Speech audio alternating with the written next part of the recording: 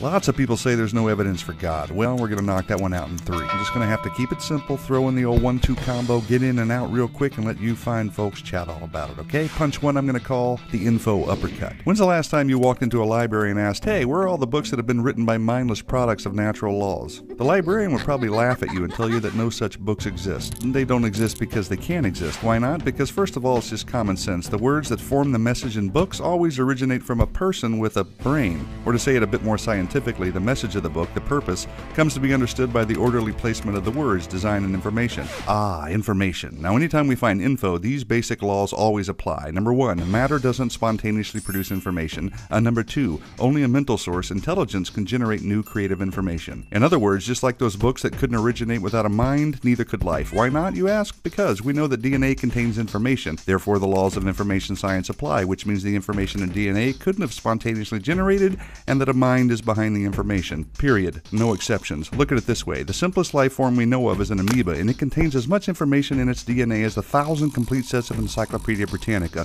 So, are we to believe that there's no way a message in a library book could spontaneously generate, but far more complicated messages in DNA that contain a thousand times more information could have? Not likely. You see, when it comes to life or anything else that contains information, the laws of information science confirm the necessity of a creative mind. And guess what? In the very first book of the Bible, it just happens to mention that. In the beginning, God created. Bam! Uppercut lands on the